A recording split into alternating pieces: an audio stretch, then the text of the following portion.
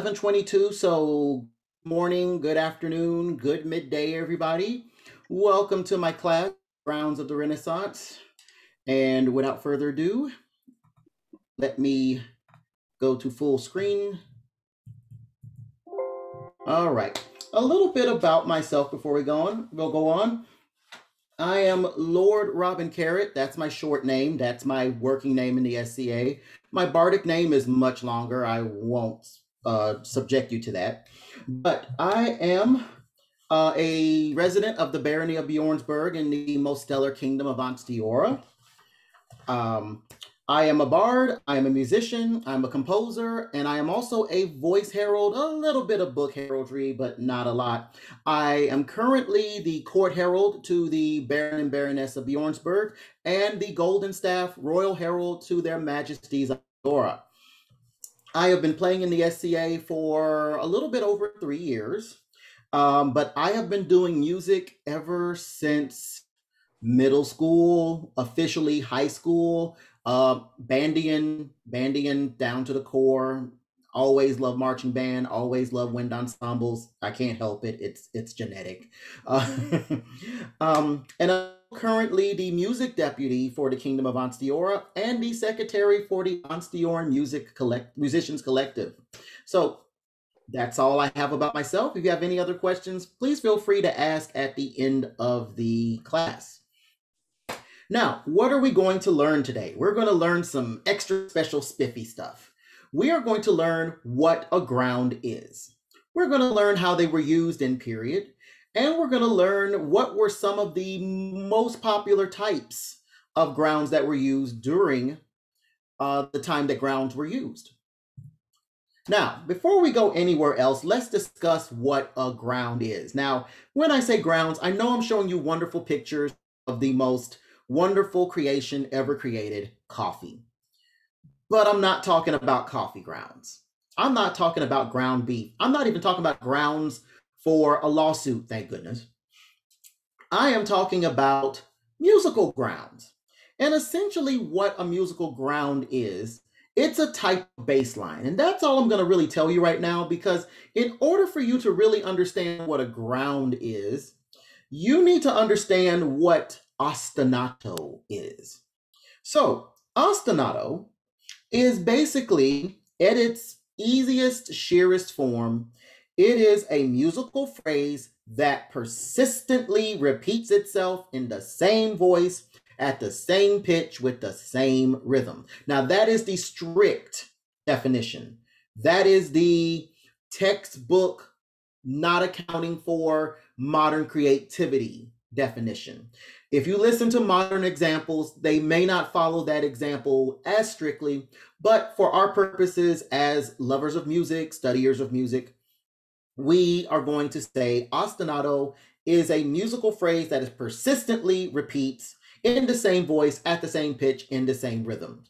If you want to remember this, remember the English word that comes from the same word as ostinato, obstinate.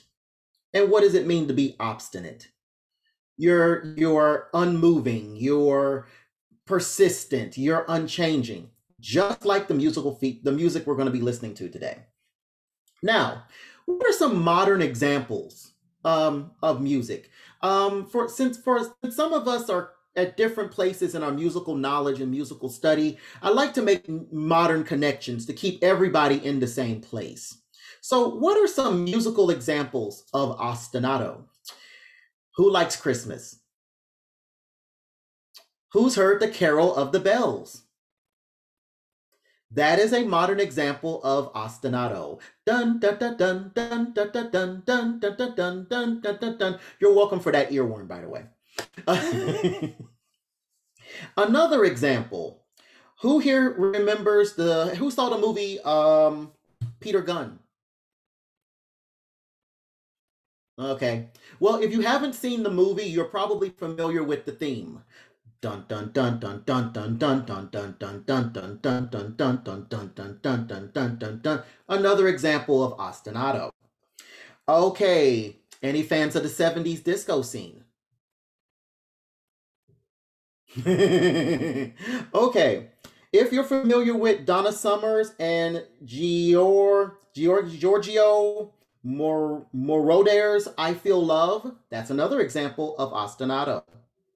And last but not least, I have to make sure I list this one correctly. The Rolling Stones, The Last Time, that back melody rhythm that was I thought it was sampled, but it's actually stolen by the Verve Pipe Bittersweet Symphony. That is another modern example of ostinato.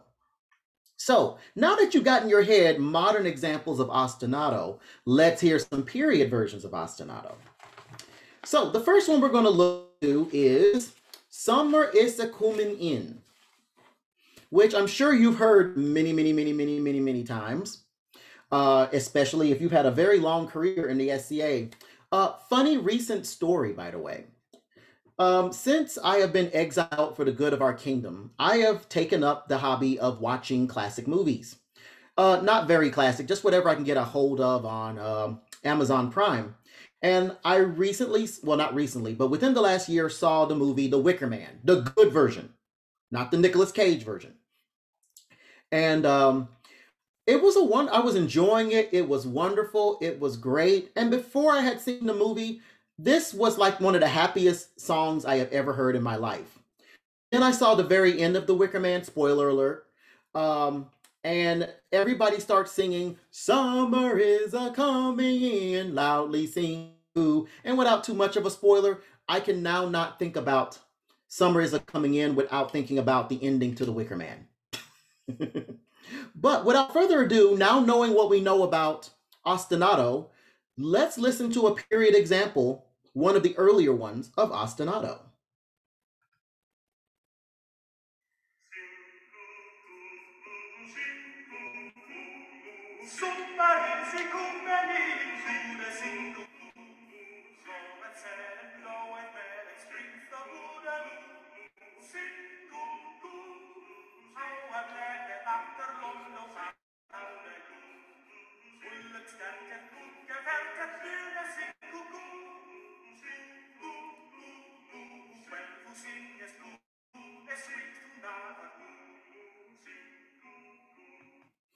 All right, I won't be playing the whole musical sample just for sake of time, but I want to play just enough to where you get the idea of the ostinato, that repeated sing cuckoo, sing cuckoo, and even the melody itself is kind of ostinato in a in a way and fashion also. But that is one of our earliest examples of ostinato. Moving on into the 1300s going into the 1400s, early Renaissance, we have, and I'm going to try to say this correctly, Reveillon nous amoureux, Revel of Lovers by Guillaume Dufay. So I found an example of this uh, to show for you, but I'm gonna play the first part. The first part is what I want you to really listen to for the ostinato.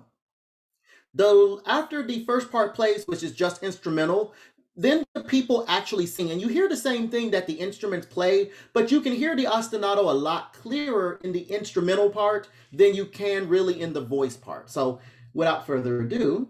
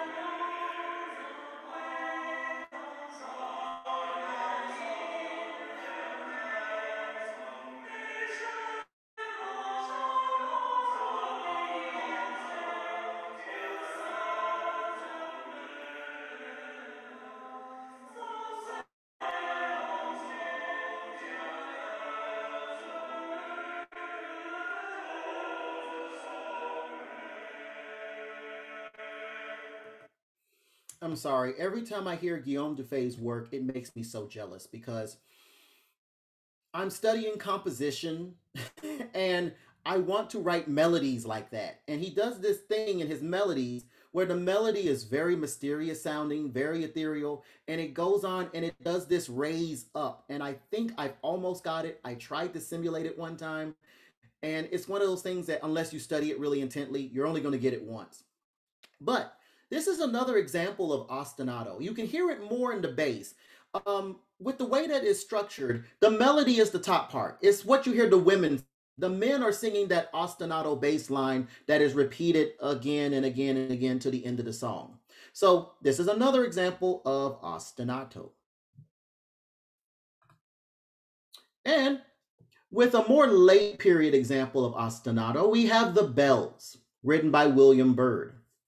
Now, the example you're going to hear of this one is not, uh, it's a more modern, um, it's a modern trans, uh, transposition. They took the original and made it for, um, I can't remember. Oh, I think it's more for brass choir, like brass instruments, the brass ensemble, or it's for a wind ensemble. I believe it's for a full wind ensemble. But it's essentially still the same music. You can read along with the music if you can read music, and you'll see it's still the same melody. Now, here, what you're going to notice is that the ostinato changes. It's not the same ostinato uh, motif from start to finish. It'll start with one, change, and it'll variate. This is another common feature of a lot of period music is the establishing of one melody and the melody changing and varying as the piece goes on. So, without further ado, let's listen to the bells.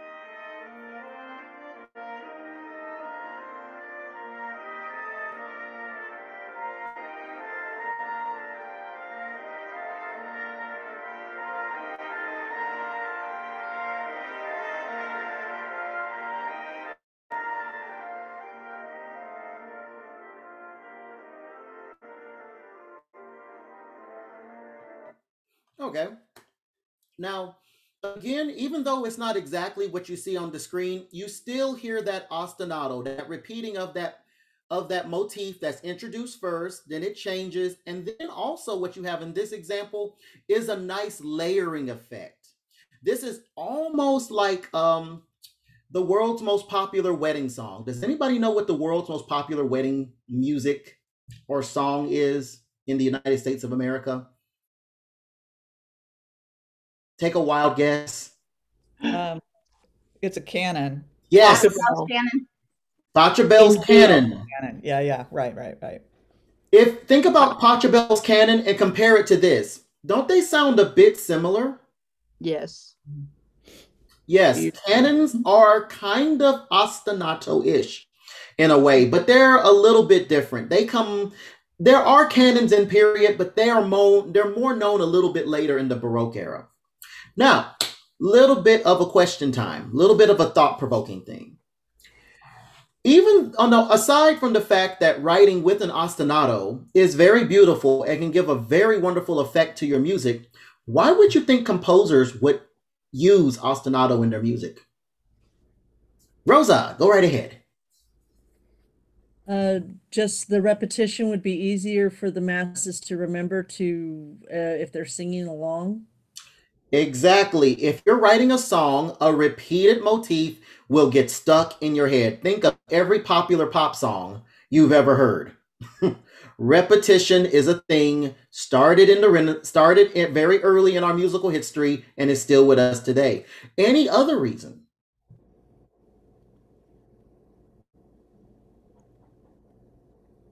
Think about it from the composer's point of view. It's a cheap, easy way to get texture, uh, right? To have to have like carpeting underneath the main melody. Exactly. It's an easy way to write a piece. Because keep in mind, if you're one of the big top composers of, of, of period, um, you're not just going to write one song and then just rest on the on the on the restitution and money you get from it. You're going to be writing song after song after song after song, and something is eventually going to give creatively. So you kind of want something that you can maybe whip up very easily, very quickly and show it to your patron and make your patron really really happy and still get the dividends. Okay just a little thought provoke little thought provoking during the class. Uh, any questions so far? Wonderful great. Now so we know what a ground is. I mean so we know what ostinato is. Well what is a ground? Well a ground is a form of ostinato a ground or a ground bass or as it might be known also, uh, obstinate bass or basso ostinato. It goes by a lot of names, but we're going to use the Elizabethan term, which is a ground. Okay? Uh, a ground is basically a bass line. And right now, with the period that we're going to be focusing on, which is the late 16th century, early 17th century, the ground is going to start off as a bass line made according to a formula that will eventually develop into a chord progression. Now, what is the difference between a bass line and a chord progression? A bass line would be just following a formula and creating a series of notes, like a little under melody, like bum bum bum bum bum bum bum bum bum bum bum bum bum bum bum. That's a bass line. But if I take that bass line and make it into chords, which are three or more notes played together, then we have a chord progression along that bass line. But that comes a little bit later. Right now, we're just sticking to a bass line. And it's a baseline that is made using a formula. Now, one thing I do want to get across is that a ground is a type of ostinato. Not all ostinato are grounds. Mhm. You know, one is true one way, but the other way is not true. Okay. So now that so now that we have that, also with the uh, music we're going to be listening to and that we have listened to, as you've already noticed, a lot of our music is very layered. It has parts, it has lines, especially if you're dealing with more than one voice or more than one instrument. So, on, one good way to think about music in respect to a ground bass is like this delicious piece of cake. I'm going to assume it's delicious because I haven't had cake in a while and I really want cake. So I am going to assume this cake is delicious. Don't tell me different. Think of this cake, cake's layers, as the top part being the melody and the accompaniment. The bottom layer would be your ground bass. This would be what your lower voices are doing to keep everything moving and supported. And the melody just lays on top of it to add interest. Because even though bass lines didn't really become interesting and a thing on their own until recently, before they were there for support and for grounding the, the, the melody and the music. So think of music like this, like a layer cake. And depending on how ambitious you are, this might be just a simple song in the country. Uh, in the courts, you might have a tiramisu going on. so think of music along those along those lines as we continue in the class. Now, how were grounds used? Well, grounds were used primarily in two different ways improvising and composing. Now, put yourself in the mind of a top musician during the Elizabethan era. You are paid to play a party. Yay, you're getting money to play at a party. Wonderful, great. And all of a sudden, the lady of the manor comes to you and says, Oh, Can you play a Passamesso Moderno? Now, you may not know a particular Passamesso Moderno, but you're lucky because she did not specify a specific Passamesso Moderno. She just said, Can you play a Passamesso Moderno? And you just happen to know what a Passamesso Moderno is. If you don't know, I'll tell you. Don't worry. We're getting there. All you would have to do is know the formula for a Passamesso Moderno, and you can improvise on top of that. So if you're a lute player or a vihuela player or any string player that can play multiple lines at the same time, all you would have to know is that baseline formula, and you can improvise a melody on top of that, and everybody has a wonderful time. You get plenty of gold pieces, and you've made everybody happy. So that is how they can be used for improvising. But not everybody is a wonderful improviser. I'm not. Unless I'm doing a bardic performance, I can't improvise worth a darn. So So some of us need to sit down and plan what we're going to play. and this is where composition comes in. Now, what I have in front of you is the cover of the sixth book of dances uh, by Pierre Atania. And I hope I'm saying that right. You know, you always got those words you only read, but you never had to pronounce. Mm-hmm. Well, this is his sixth book of dances. And if you look very closely at one of the titles, you have a pavan pasame. Pasame is another way, well, pasamez is mm-hmm. another way of saying pasameso. And pasameso is one of the grounds we're going to be looking at in detail. And the pasameso was the baseline for a lot of pavans and galliards in period. A pavan is like a slow, stately dance, and a galliard is like a slightly faster dance that is usually partnered with a with a with a pasameso. Um, also, you'll see other forms of music here. You have the um, the brawls, which there's a class later on brawls. The, and also with brawls, they'll have different types. You'll have the brawl de Champlain, the brawl gay, the brawl simple, um, different types of brawls. But we're not too much focusing on brawls because, as far as I know, brawls didn't really utilize some of the common um, grounds. Mm. Now, 74 lute pieces. This is a manuscript that has been documented and saved that I managed to get for free 99 off of imslp.com. If you want period music and you're like, well, I don't know where to get period music, go to this website and have a good time looking at free period music. Okay? It's free. No excuses, people. There is music out there for free. And if you look here at our listing, we have a Pasameso Pavan, a Pasameso Galliard. We have green sleeves. Fun fact about green sleeves, it utilizes two grounds. In the first part, it's a it's a Pasameso Antico. We'll talk about that in detail. The second part is a Romanesca, and we'll talk about that in more detail as well. Uh, in case you're wondering what Queen's Mary's dump is, it's not what you're thinking. That is another type of ground referred to as a dump. The Spanish pavan is another type of ground. Um, the jig, the jig is not really a ground, but it's a type of dance. Also, we have a jump. A jump is another ground that that is another type of dance. And oh look, if you look here, we have a bergamasca. This is going to be the first ground we talk about today.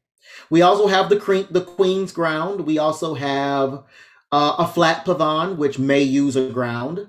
Another La Vecchia's pavan, which might use a ground. Fall Galliard, which also might use a ground.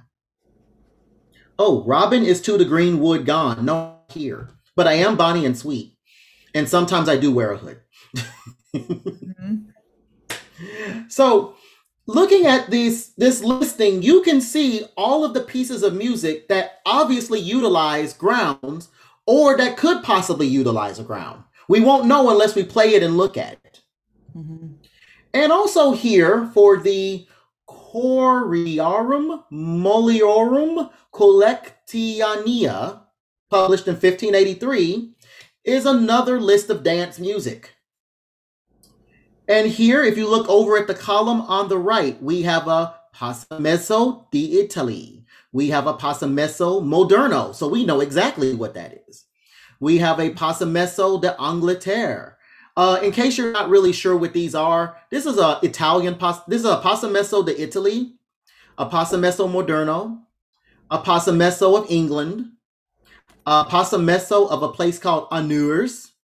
Uh, it was a very popular convention to name a lot of your music after places or people, and sometimes after a popular song or give them a fun title or name. It was really common. But again, we have more evidence that these grounds were used as the basis for compositions. And if you go and hear them and look at them and to analyze them, you'll see the ground melodies for yourself. Mhm. So, what are some examples of these grounds? I've been talking about these grounds for over uh, about 20 minutes now. Can we actually look and see what they are? Uh, of course, yes, but we have to talk about a little bit of music nerd stuff before we go on. Because I want to make sure everybody, despite your musical background, understand what we're talking about here. So, melodic progression. All that means is how a series of notes progresses from beginning to end in a music. Mhm. It's like think of your music as Little Red Riding Hood. Where does Little Red Riding Hood start her journey? At grandma's house. No, At no, grandma's house. That's where it ends. Yes. She- I, I went the wrong Oh, way. I'm sorry. At her mother's house. At her It mother's ends at her grandmother's house. So think of your melody like like Little Red Riding Hood. She starts in one place, ends at another, and whatever happens in the middle is her progression. That is how music progresses. Now, what is a chord progression? It's the same thing, just chords. So, what is a chord?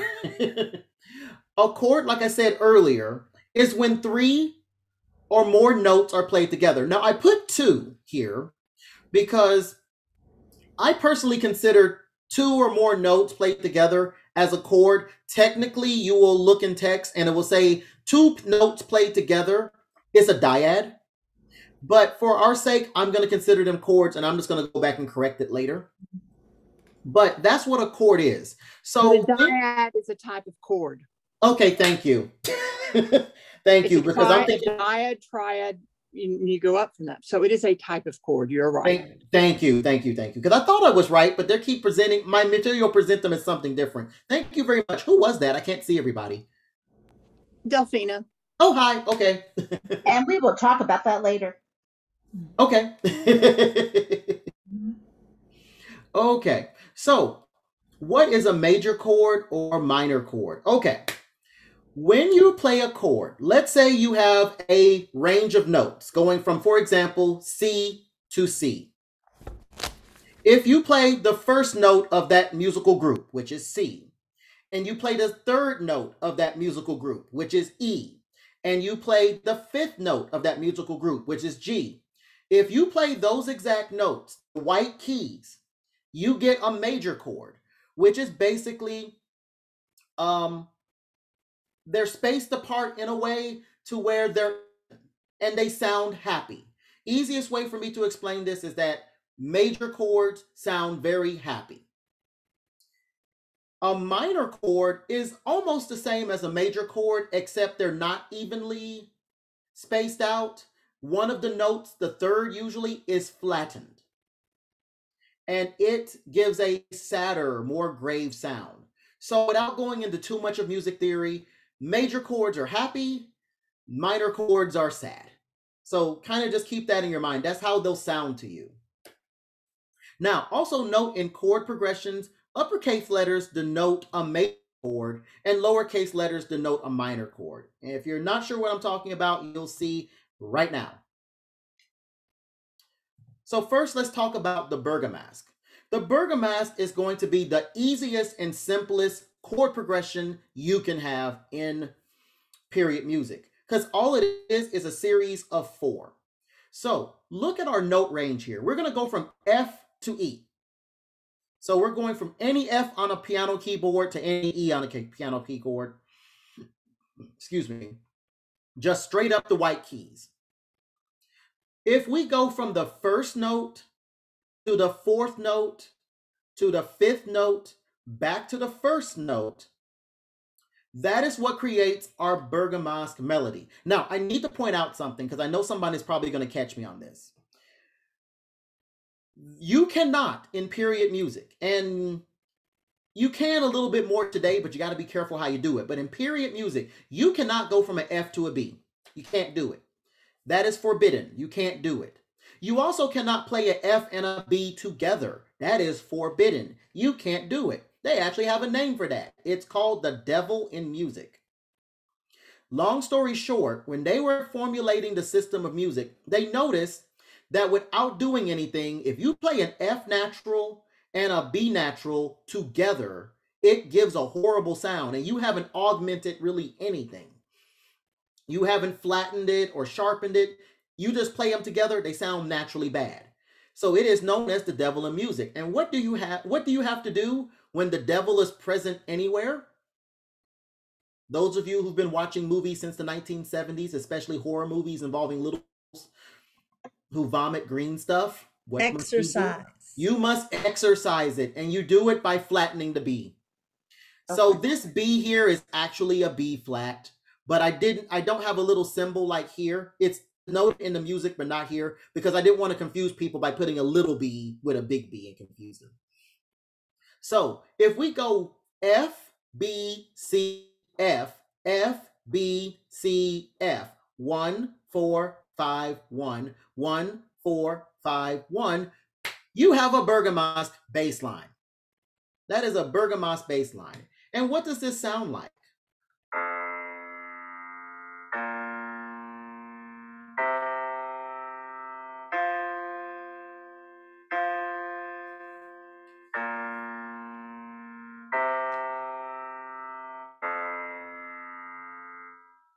That is your Bergamasque bass line. Now, the Bergamasque you heard is not exactly the same as the Bergamasque you see on the screen.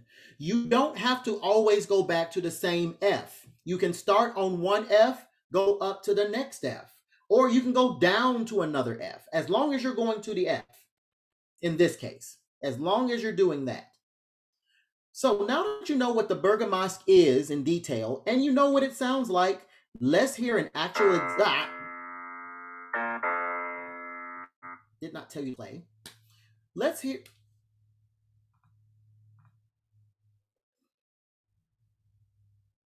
Let's hear an example. Sorry about that. But before we hear an example, I do want to point out that in my research, I found out that the Bergamasque is a popular chord progression in modern music. And it's actually present in a form of music you probably wouldn't be aware that it's part of. Can anybody guess what type of music uses the the Bergamasque chord progression? Rap. No. Rave. No. Think a little bit older.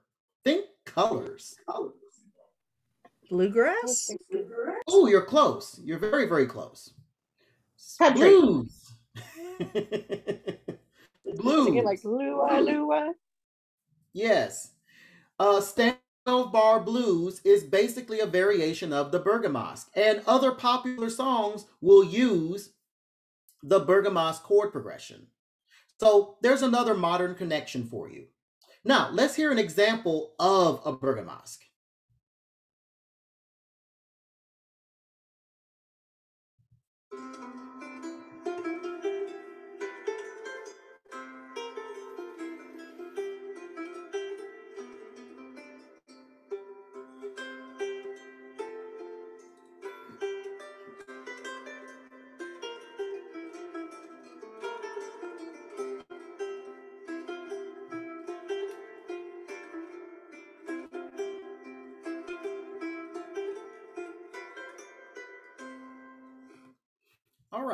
So again, I won't play the whole thing for the sake of time, but I wanted to play enough for you to hear that bass line. So if you listen closely to the bass line, as I said at the beginning of class, with these examples, listen to the bass. You're going to hear that bum, bum, bum, bum, bum, bum, bum, bum. And then that melody is going to be just placed on top of it to give interest and and um melody. So let's play it one more time just so you can hear it if you didn't catch it the first time.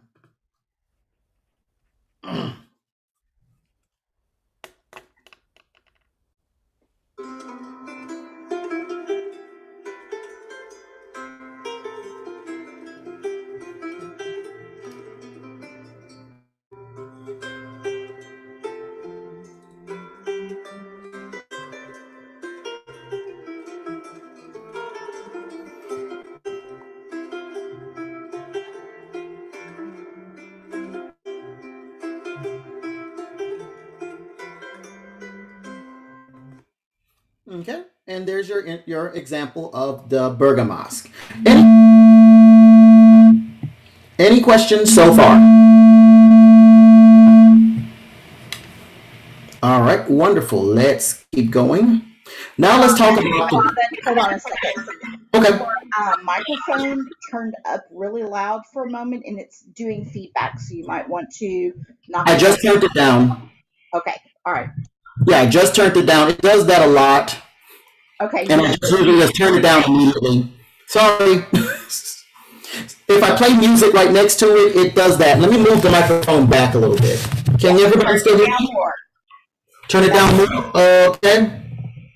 Are we good? Nope.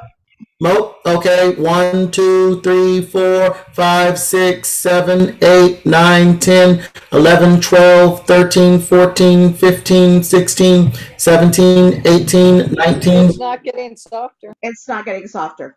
It's not getting softer? You're not adjusting whatever you're adjusting. You're not adjusting the microphone.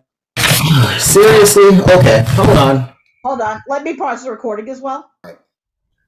All right, Okay. Sorry about that. I have moved the mic a foot away from my mouth, maybe a little bit more than I turned it down. So hopefully that shouldn't be a problem. Okay, let me know you're ready. Have we started recording again? Okay. All right. So now let's talk about the passamezzo. Now, the passamezzo, as I mentioned before, is probably one of the more commonly used bass lines uh, in period. As a matter of fact, it's so commonly used, they made two types. So you have the Passamezzo Antico and the Passamezzo Moderno. Translated for ease of knowing what the heck these terms mean, the old Passamezzo roughly and the modern Passamezzo roughly. So with these two, we're going to start with the Passamezzo Moderno because it's very similar to the Bergamasque. And the reason why I say similar to the Bergamasque, if you again look at our note range going from G to F, if we go from G to the fourth note, C, back to the G, and then to the D, we now have a Passamezzo Moderno bass line. We go G, C, G, D, G, C, G, D. One, four, one, five, one, four, one, five, one. Now, listen to how goes following this formula.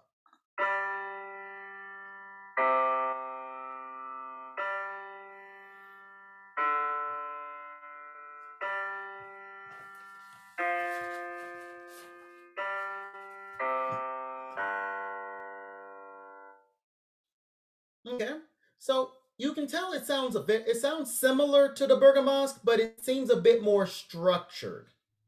There's a little bit more structure with it. It's just not one four, one four five one, one four five one. It's a little bit variated, a little bit more structured, but it is different. Now, also, this is another common chord progression used in popular music. And without further ado, ah, that is going to happen a lot, apparently.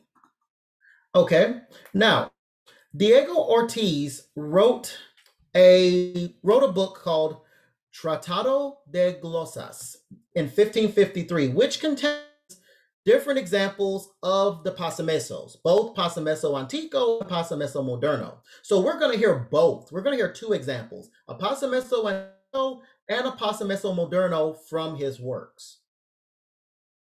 And again, remember, listen for the bass line.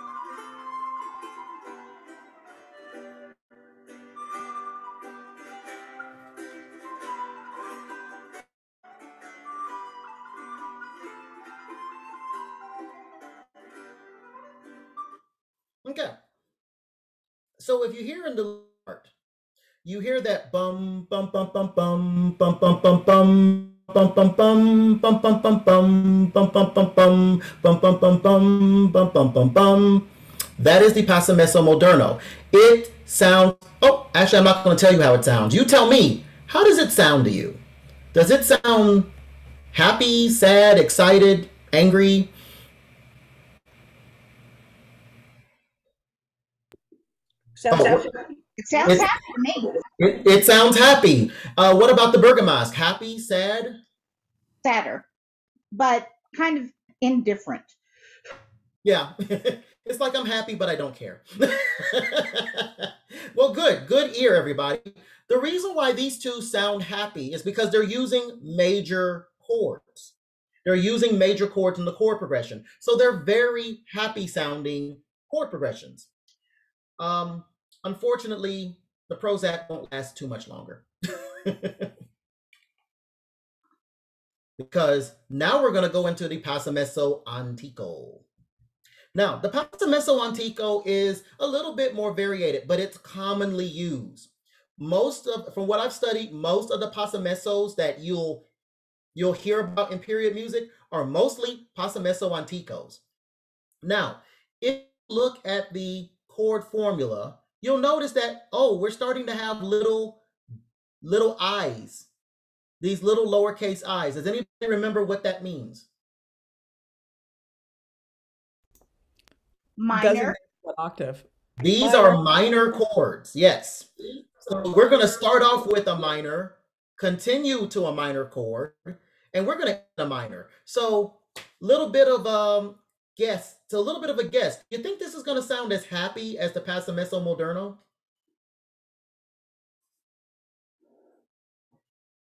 No. No, probably not. Let's hear how it sounds.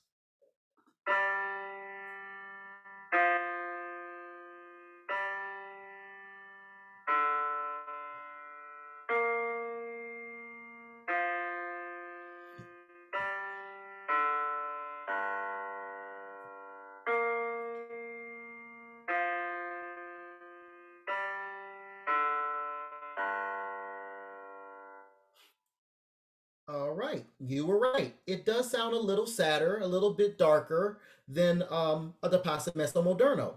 Uh, the reason why I say dark is because there is a term used in early music uh, scholarship where when we add a flat or a sharp to music, it's referred to as coloration.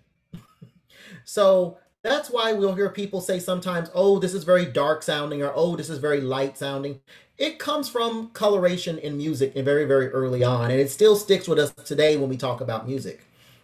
But this is a very grave sounding a very kind of more or less dark sounding chord progression.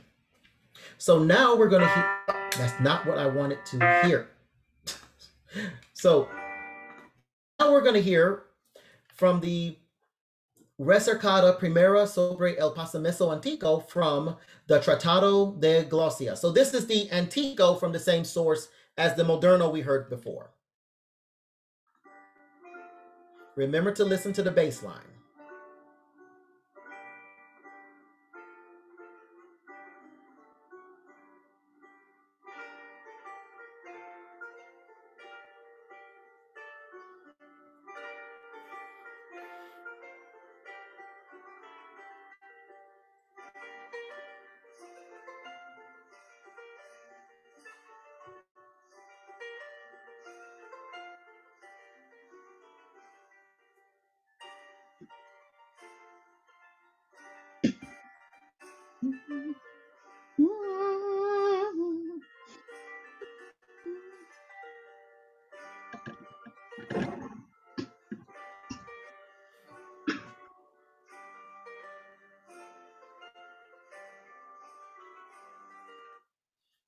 So there we have an example of the Passamezzo Antico.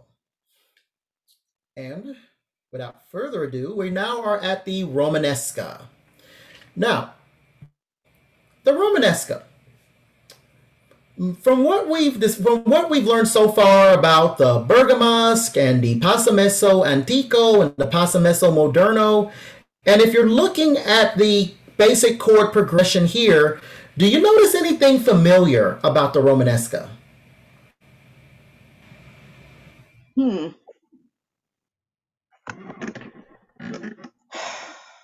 Sorry to pee. Okay, I better do it. Uh, the D and D, The D and D? the uh, four and five. Okay. Oh yeah. What about the four and five? Uh, they don't play nice together. Yeah. So there probably are not going to be present. Okay. But what do you notice about the progression specifically? The seven to one to five, the seven to one to five. What do you notice that's different from one we've already looked at? High low, or low high, low high. Okay, high, low, low, Uh-huh. high. I'll tell you what, let's kind of backtrack. So here's the Passamezzo Antico 1715 37151. Now let's look at the Romanesca.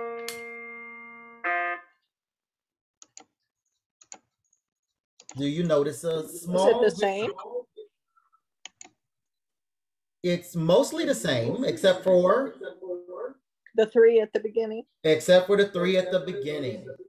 The Romanesca begins on a major third instead of a minor first, like the Passamezzo Antico. So it sounds like this.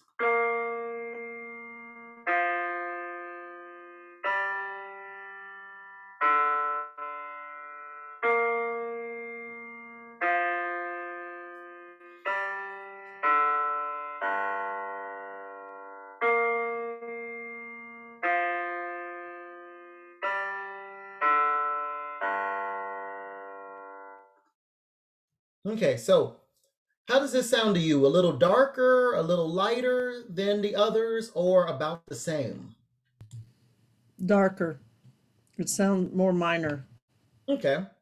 Also, keep in mind that um, sometimes changes in the note grouping can affect it, but also adding flats and sharps will also affect color as well. Okay, so for our last example of a ground, here we have an example of a Romanesca. Again, listen for the bass line.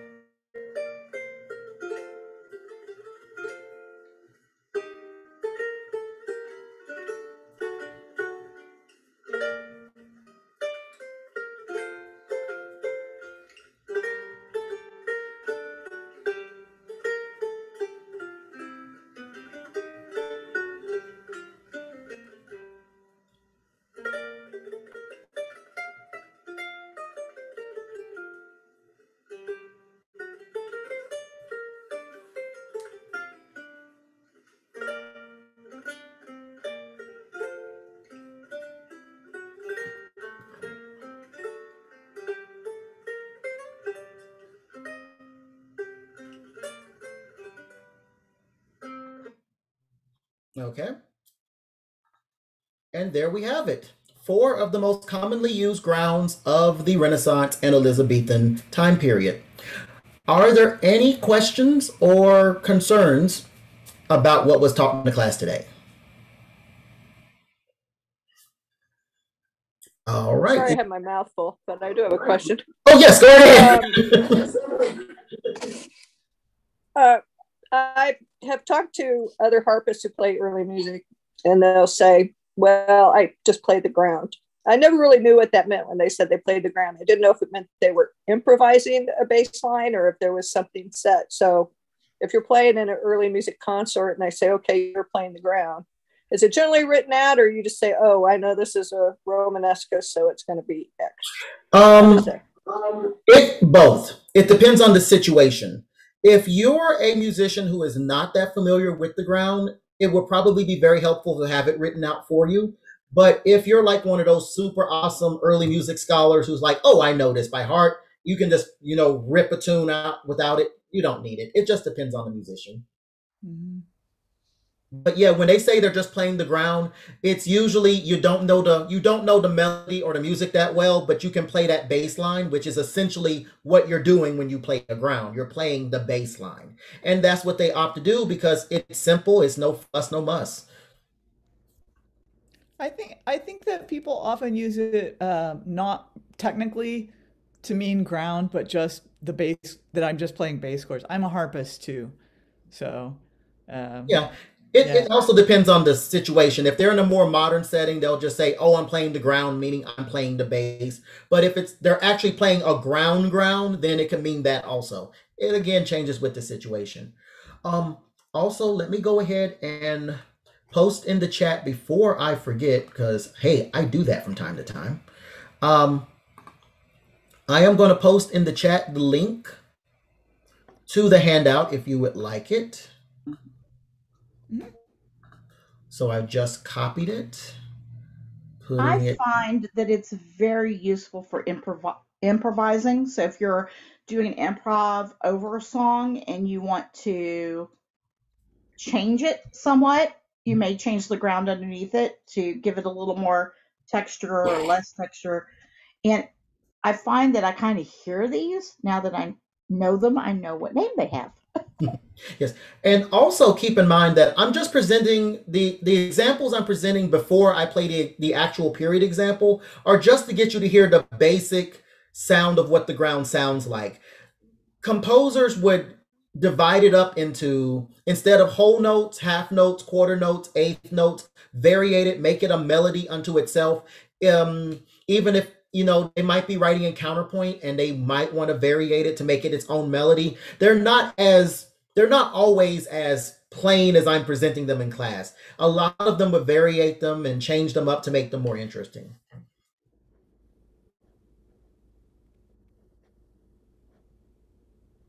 All right.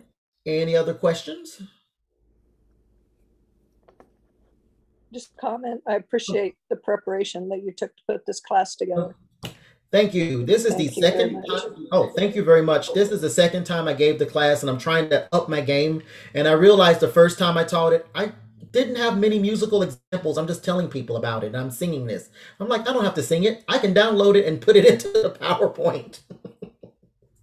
This was really enjoyable, and you you covered such an amount of technical concepts in a really clear way. I feel Oh, like thank at the you. end I understood it all. So yeah, Thank As- you.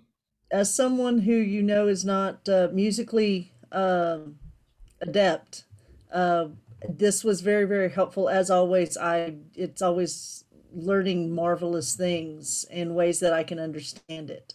Oh. So the examples were excellent. Thank you. Oh, thank you. Okay, good. I'm glad you're all saying that when my laurel is right here in the classroom. So